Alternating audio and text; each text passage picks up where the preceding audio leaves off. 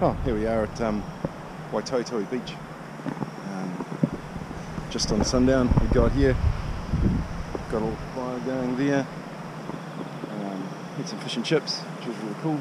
Just had a nice little swim. And the kids are out fossicking around down on the, uh, on the shoreline, looking for more wood and just making a nuisance of themselves.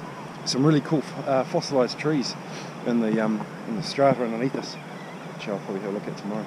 And, um, Anyway, time to go warm up by the fire.